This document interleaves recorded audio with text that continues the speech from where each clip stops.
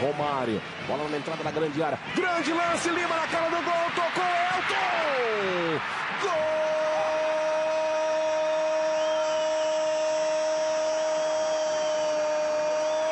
do Ceará.